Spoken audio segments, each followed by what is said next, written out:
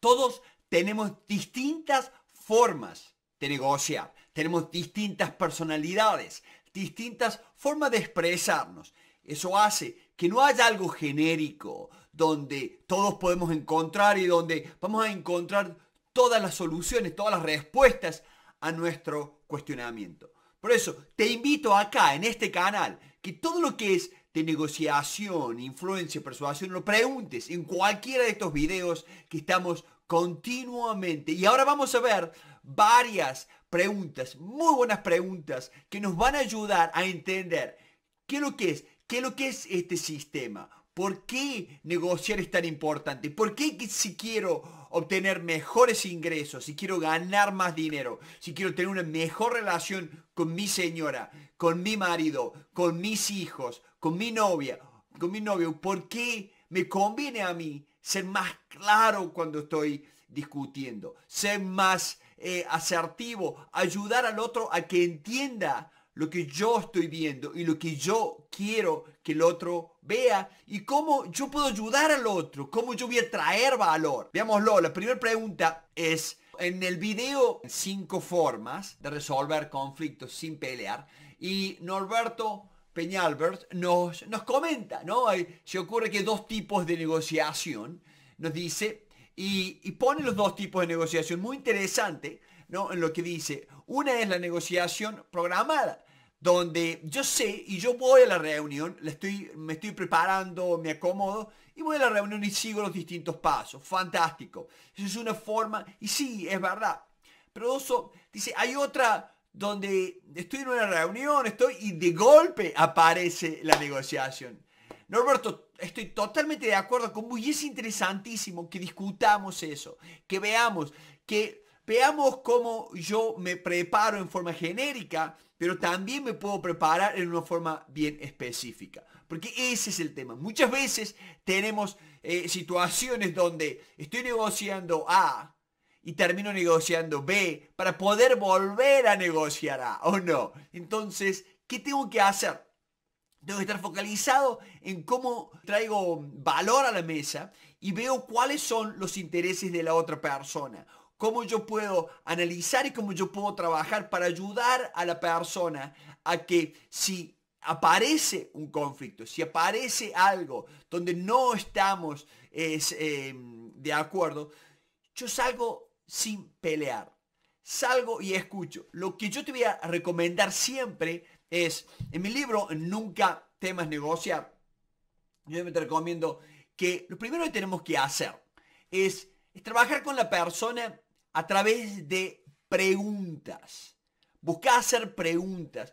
No busques entender y que el otro comprenda o darle una clase magistral al otro. Busca hacer preguntas, busca ¿y cómo, cómo se supone que yo tengo que hacer eso? ¿Cómo se supone que yo puedo ayudarte en eso? ¿Cómo se supone que yo puedo lograr lo que me estás pidiendo? ¿Cómo se, cómo se supone que yo te puedo pagar eso?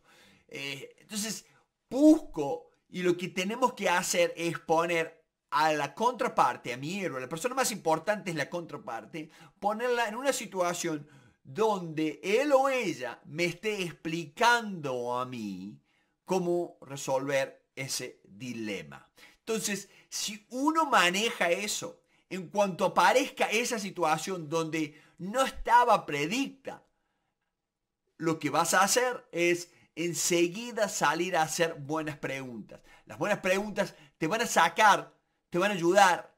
Y busquen ese video, cinco formas. Lo vamos a poner acá abajo, acá debajo. Vamos a poner para que lo vean.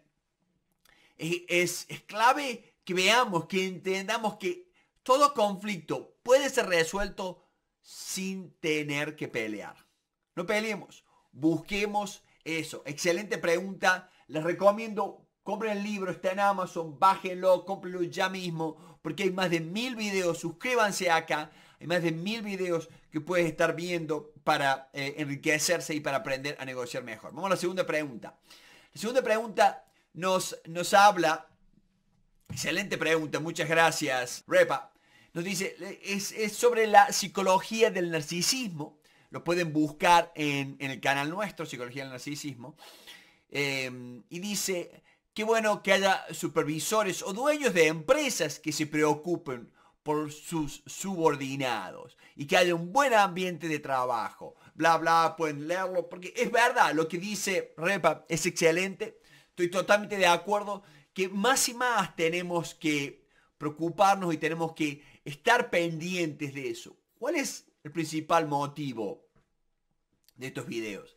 Que cada vez más la gente está más acelerada, la gente se está demostrando que la gente está un poco más agresiva. Después de toda la pandemia, después de todo esto, se ve la gente mucho más. Entonces, ¿a dónde vamos con esto? Vamos a que tenemos que ver y tenemos que darnos cuenta que a medida que va pasando el tiempo, hay más gente conflictiva, hay más gente que cree que la forma de solucionar algo es justamente poner debajo para que yo brille, yo tengo que opacarte a vos y no es la forma. Entonces, cómo trabajar en eso es lo que nosotros estamos ayudando y nosotros estamos viendo para que psicológicamente cuando estás trabajando con un narcisista, tenés que tener cuidado, tenés que no dejarte dominar porque él se va a comportar. Si vos te dejas dominar, si vos eh, interactúas de forma tal de que él ve que puede dominar, él ve que puede hacer lo que él quiere, eso va a continuar. Entonces te recomiendo, no dejes eso, no dejes que la persona haga, no dejes eh, explicarle, eh, mostrarte, mostrarte firme, ayuda a la otra persona a que se dé cuenta de que vos vas a poner límite. El amor tiene límites, no hay nada que no tenga límites. Y eso es lo que tenemos que hacer en toda relación, en toda relación con, de, de trabajo, donde tiene que haber ese respeto. En cuanto se pierde ese respeto y estas, e, e, estos tips, estas ideas, justamente son para ganar ese respeto, para trabajar en nuestra relación. Porque muchas veces, cuando la persona se da cuenta que nosotros sabemos cuál es el juego, para de hacerlo. Eso es lo que yo te invito a que lo hagamos. Vamos a la próxima pregunta. El dinero no lo es todo. Es la, pueden buscar ese título, lo pueden buscar y pueden ver el, el video. Y, nos dice Haciendali, asesores, dice, totalmente de acuerdo, mi esposa siempre me em, recriminaba cuando a un potencial cliente le regalaba o no le cobraba un servicio por primera vez bla, bla, sigue, lo pueden leer. Este, excelente, Haciendali, excelente eh, comentario. Y yo creo que nos ayuda mucho a ver que no, no solo tu esposa, muchísima gente se pone mal cuando ve ese tipo de reacción. Y, me encanta que intuitivamente vos te has dado cuenta o, o los aprendido que no nos conviene, tenemos que dejar que la persona pruebe nuestros servicios, pruebe nuestros productos. tenemos que invitarlo y muchas veces es la parte inversión nuestra. ¿Hacia dónde, cómo uno va a saber hasta cuándo? Porque si vos trabajas todo gratis o das todos tus productos gratis, ¿qué va a pasar? Te vas a fundir. Entonces, no queremos que te fundas, ¿no? Que, que, entres en quiebra. Entonces, ¿cómo, ¿cómo trabajamos? ¿Cómo vemos? Eso lo va a determinar la oferta y la demanda. Lo va a determinar de que yo doy esto, doy esto, doy lo, otro, pero a su vez estamos ganando nuevos clientes, estamos pero en el momento en que yo veo que lo único que estoy dando, lo único estoy haciendo es dando servicios y cosas gratis, yo tengo que reconocer que esa no es una buena estrategia. Regalar, mis servicios no es una buena estrategia. Regalar mis productos no es una buena ¿Por qué? Porque el otro no lo va a valorar. Entonces, si nosotros estamos en el negocio en que nosotros le hacemos ver a la otra persona de que de que tiene que valorar nuestros servicios, nuestros productos. Y para eso le estamos ofreciendo algo gratis. Estamos ayudándolo en forma gratis, gratuita, para que vea, pero si le gusta, este va a ser el precio, esto. Entonces, ahí sí esto sirve, ahí sí entra en juego. Esta teoría, ¿no? Que, nos damos cuenta, pero es, esa, es justamente ese juego de la oferta, la demanda, lo que te va a marcar eso. Y te invito y creo que es muy bueno el hecho de que invites a gente, le des tus servicios y que em, hagas nuevas relaciones. Muchas veces la mejor forma de hacer una relación nueva es, justamente demostrarle por qué somos buenos y cómo podemos ayudar a la otra persona. Vamos a ver la próxima pregunta. ¿Cómo negociar con un narcisista? Las negociaciones difíciles. Bueno, Claudia, muchas gracias. Claudia dice, es excelente. Dice, cambia de trabajo, porque muchas veces tenemos esa, esa, esa impresión, ¿no? De que estamos con un, estamos negociando con un narcisista y bueno, y es nuestro jefe y tenés que cambiar de trabajo. Eh, está bien, está claro, pero acordémonos de algo, de que, eh, como, lo, como nos dice, cuídate de su odio. Esta persona va a estar y va a buscarte. Son personas vengativas, totalmente de acuerdo. Eh, es muy buena la pregunta, es muy bueno el comentario, léanlo, vean el video. Y, y les va a ayudar mucho a dar que toda negociación difícil es una negociación en la cual la otra persona muchas veces no sabe lo que quiere. Y justamente el narcisista tiene una inseguridad. Y esa inseguridad la refleja en vos. Entonces cuando estamos negociando con un narcisista hay mucha inseguridad. Hay mucha inseguridad de él que la refleja en nosotros y nosotros que no sabemos cómo trabajar, cómo llevarlo adelante. Te invito a que trabajes y que lo veas a esto como una persona, no porque no me da lo que yo quiero, significa que es un narcisista. Porque mucha gente lo primero que hace es calificar al otro como narcisista. ¿Por qué? Porque no me está dando lo que yo quiero. Entonces, eso no es una buena definición. Pero si yo me veo, veo que tiene odio, que tiene venganza, que da vueltas, que miente, que está esto, entonces yo sí tengo que tener cuidado. Y tener mucho cuidado. Y muchas veces, como dice eh, Claudia, este, y sí, te conviene más irte a otro trabajo, buscar otro trabajo, que estar aguantándote a una persona de estas características. Eh, pero toda negociación difícil comienza desde el punto de vista nuestro de que nosotros podemos o no liderarla. Lidera tus negociaciones, hacer el trabajo eh, eh, previo, preparar las cosas, mostrárselas, dale con anticipación, porque el narcisista se va, va a tener mucho cuidado con vos si vos estás preparada, preparado, si vos tenés las cosas bien, como que no va a tratar de estar jugando y, cambiando las cosas. Por eso te recomiendo sumamente prepararte, prepararte, prepararte cuando estés negociando con un narcisista. Es una de las únicas soluciones que tenemos a esta gente. ¿ah? Bárbaro, vamos a la próxima pregunta y por favor suscríbete al canal nuestro, pone, pone, ¿qué otra pregunta tenés? Pregunta, comentario, ayudemos a ayudar, ayudemos a que otra gente pueda aprender y pueda ver cómo podemos ver esto. Y yo lo hago con toda mi pasión para todos nuestros hermanos hispanos y, Latinoamérica y España, toda la gente que habla en español puede hacer preguntas, escribir, interactuar con nosotros, porque esa es la idea, que, que nuestra comunidad crezca y podamos ayudar a más gente que estas preguntas muchas veces nadie las sabe contestar, por eso ah, vamos para adelante. Dice, ¿cómo ser más seguro de sí mismo? El método más práctico de ganar la confianza. Bueno, y acá Alexandro dice, me parece que toma una actitud empática, ¿no? y mi determinación a ir por lo que quiero consigue alimentar mi seguridad emocional, ¿no es cierto?, en mí mismo. Eso es algo que lo estamos estudiando porque lo dice bien claro, la seguridad emocional. Las emociones, nos damos cuenta, antes creíamos que tenemos que tener cuidado con las emociones, que las emociones no había que traerlas a la negociación. Pero más y más nos damos cuenta que no podemos separar eso. Las emociones van a estar y sabemos que van a estar y que y tenemos que trabajar con ellas. ¿Cómo trabajar con las emociones? Primero, controlate. La respiración es uno de los elementos más importantes en toda negociación con emociones. Respira, respira bien. Toma, eh, eh, eso es una parte. La otra, toma recreos. Pedí que tenés que tomar recreo. Eh, que pedís que tenés unos minutos. Pedir al baño si no te animás a pedir un recreo. Muchas veces nos pasa y bueno, uy, ¿dónde está el baño? Y te vas y te tomas cinco minutos, te mojas la cara, haces esas cosas para tratar de cambiar ese ambiente, cambiar esa, esa, esa, e, esas emociones, para estar, para sentirte seguro, para poder ir a la carga y poder hacer preguntas empáticas, poder comprender al otro. En la táctica de buena negociación es comprender para ser comprendido.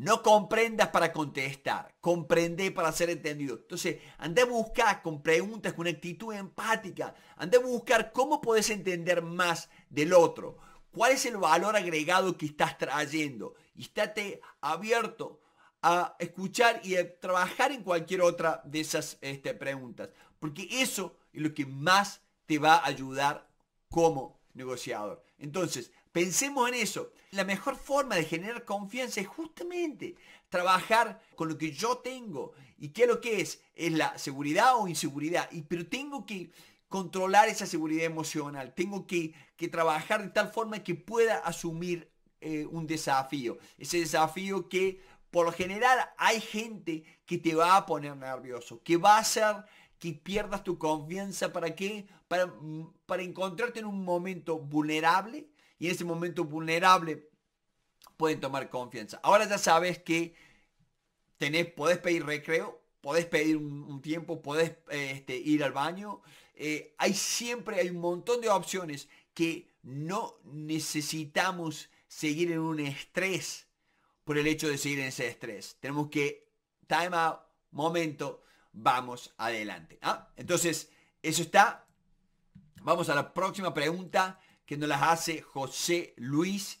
Dice, el mejor resultado se obtiene aprendiendo de los aciertos y errores del proceso. Bueno, ¿por qué ponemos esta pregunta? Acá hay algo interesantísimo que José Luis nos está diciendo. Obviamente todos sabemos que, que tenemos que ir aprendiendo, pero él comenta del proceso. No nos olvidemos que en toda negociación, en mi libro lo dice, y lo explico muy bien, en toda negociación tenemos que estar focalizados en el proceso. Eh, el gran error de todo amateur, de toda persona que va a negociar sin saber negociar bien, es que se olvidan del proceso y empiezan a pensar únicamente en el resultado. Entonces es ahí donde cometemos los mayores errores. Pensar en el resultado únicamente nos genera errores. Tenemos que tratar de que estar abiertos a los aciertos y los errores de ese proceso y interpretar, estudiar mi proceso, cómo yo llevo adelante la negociación. Y en base a eso, trabajo y trabajo y la mejoro. Acá en mi libro, Los siete principios, cada uno de estos principios, como por ejemplo el pedir, el mostrar los resultados al otro, el eh, estratégicamente armar una, propuesta y cómo armarla, cuáles son los puntos claves. Están todos, cada uno de estos capítulos tiene todos estos principios. Se los recomiendo, está en Amazon, está en todo el mundo el libro este. Y eh, sigue, se sigue vendiendo. ¿Por qué? Porque da resultados. Y te invito a que solo lo compres, sino que veas todo el material. Acá hay un curso. Hay un curso gratuito acá en este, en este libro. Entonces, eh, el proceso es la clave. Eh, José Luis, el proceso es fantástico. Y quiero a todo el mundo que tomen conciencia de que si no tenés tu proceso, genéralo ya, búscalo ya, mira el video, compra el libro para tener tu proceso, para sentirte cómodo o cómoda de que vas trabajando con ese proceso que te va a dar resultados. El error está en creer que yo voy con una propuesta buena. La propuesta sola no es el proceso. El proceso es, antes de dar mi propuesta, yo tengo que comprender, comprender al otro, entender, saber, antes de hablar de lo que yo quiero, lo que yo puedo dar. Vos vas y comes el postre antes de la cena. No, tenemos que comer la cena y después el postre.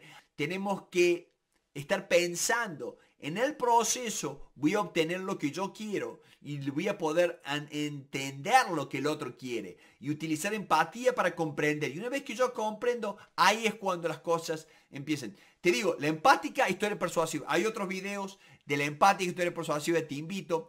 Contesto una pregunta más y después te voy a llevar a que veas la empática historia persuasiva. Quédate conmigo y, y suscríbete al canal. Suscríbete para que podamos ayudarte y mostrarte más sobre esto. Bien, y esta pregunta que nos hace Moisés Olvera. Dice, ¿Por qué invadir Ucrania? Es un gran error para Rusia. Eh, ¿Qué es el poder? La negociación internacional. Tenemos algo claro, que en toda negociación internacional como la que se ha dado, hay una cuestión de poder. Y, y lo ha hecho por poder esta persona. Entonces, ¿cómo trabajar con ese poder? Yo no le voy a enseñar a Putin a negociar, pero sí, hoy en día todos sabemos que fue un gran error. En vez de presionar, presionar, presionar. Es más, también ha sido un error de un presidente estadounidense. El, presidente estadounidense, Trump, él estaba en, en muchos arreglos y muchas cosas con Putin.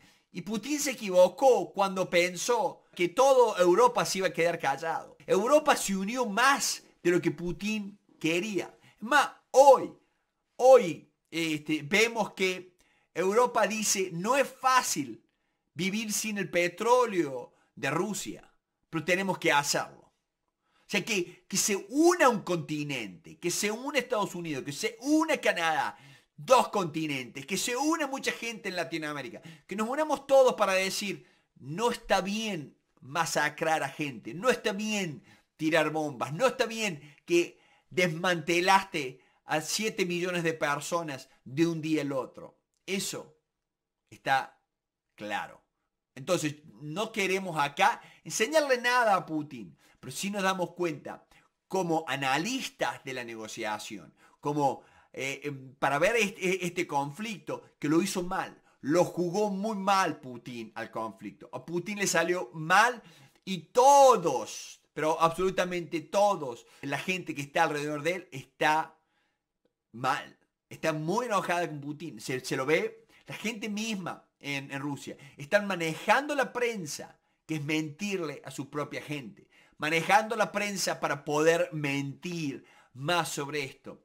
Todos sabemos que Rusia es una gran potencia, todos sabemos que los rusos son excelentes personas, pero también todos sabemos que Putin se equivocó y tiene todo un grupo que ya lo vamos a ver. Todo está cayendo y todo se está saliendo a la luz. Por eso te invito a que cada uno tiene su opinión. Lo que estamos viendo es problemas financieros que está teniendo Rusia, problemas financieros que está generando, problemas financieros que eh, económicos que están. Y, yo te hago una pregunta. ¿Cómo puede ser que Putin vive en una casa que vale un billón de dólares cuando el promedio de las casas allá son de 10 mil dólares? ¿No? ¿Cómo puede ser? ¿Cómo puede ser? ¿Qué está pasando? ¿No? Eh, ¿Realmente él representa a los rusos o él está eh, formando parte de algo que no es real? Y con esto, vos me decís, y Trump también estuvo equivocado, estoy de acuerdo con vos. Y mucha gente se ha equivocado, porque no nos, damos cuenta de que podría haber llegado a ser una cosa así. Por eso, lo, lo importante siempre es entender otras perspectivas, porque todo se puede negociar, fundamentalmente en la parte internacional, que ahí sí necesitamos. Bueno, entonces veamos la empática historia persuasiva, que te prometí que te iba a mostrar cómo llevar adelante una, negociación. Fíjate, lo primero que tenés que hacer es analizar esta parte, analizar cómo comprendes a la contraparte. Comprende la contraparte, busca su necesidad y busca su problema. En esto vamos a entender que el problema puede ser por una cuestión de que tiene un, un dolor o una cuestión de que tiene un placer que quiere satisfacer. Entonces, eso es, comprende primero Invertí ese tiempo. Por eso cuando hablamos al principio en las primeras preguntas, cuando una persona, esa, cuando estoy en esa negociación inesperada, y bueno, lo que tengo que hacer es comprender, escuchar, preguntar, hablar, seguir, hacer muy buenas preguntas. Segundo, planea. ¿Qué vamos a planear? La propuesta. Vamos a planear pedir. Hacer propuesta. El método de Harvard habla de que tenemos que usar opciones. Preparar opciones, pero preparar opciones y anda dándolas de forma tal como lo dice en el libro, porque no toda opción la vamos a tirar en la mesa. Yo te explico bien cómo armar esa propuesta. Armarla bien. Buscar el libro. Nunca temas negociar. Buscarlo en, en Amazon a este libro. Porque te va a ayudar mucho a que la propuesta sea, y cómo pedís, también te lo explico, cómo pedís esa propuesta. Es una gran ventaja poder hacer una buena propuesta y pedir inmediatamente. Porque todos tenemos perspectivas distintas y te quiero mostrar algo sobre eso. Pero esa perspectiva distinta no nos quita que una buena propuesta y un pedir bueno nos vaya a ayudar, nos vaya a acercar, haga que ambos estemos más cómodos en la negociación. ¿O no es eso lo que vos buscas? Estar más cómodo. Exacto, estamos acá. Y de ahí vamos a planear, vamos a planear. En planear es resultado que es donde nosotros sabemos que todo el mundo compara y vamos a comparar los resultados con resultados que nosotros queremos. De ahí el miedo, el miedo del no arreglo. ¿Qué pasa si no cierro con vos y se lo ofrezco a tu competencia? Esos miedos, cómo trabajar. Eso lo trabaja muy bien un profesor de la Universidad de Harvard. Lo explico, pongo todo, pongo las referencias y te pongo las mejores partes del libro que él escribió en Harvard. De cómo, cómo interpretar eso y escribir la victoria. Todo esto, ¿para qué?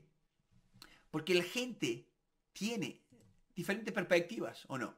Pues fíjate esto, mira acá, una persona ve un 6 y la otra persona ve un 9. Hay una diferente perspectiva. Entonces te das cuenta que debemos comprender, debemos trabajar más fuertemente en tratar de comprender y por ahí creemos que no, que comprender está, no, no, tenemos, invertir tiempo en eso. Si, si hay algún lugar donde hay que invertir tiempo en una negociación, es el principio. Empáticamente tengo que, que, trabajar, tengo que entender. Y quiero que el otro entienda que yo estoy cooperando, estoy buscando la cooperación. La cooperación para que nos una y para que ambos podamos trabajar. Te invito, vamos ya mismo a ver este otro video sobre la empática historia persuasiva. Este método que miles y miles y miles de ejecutivos están usando, porque en todo el mundo ya estamos usando empatía, estamos usando la parte de historia, estamos usando la persuasión. El que no sabe persuadir, influir, va muerto en toda negociación. Vamos ya mismo a verlo.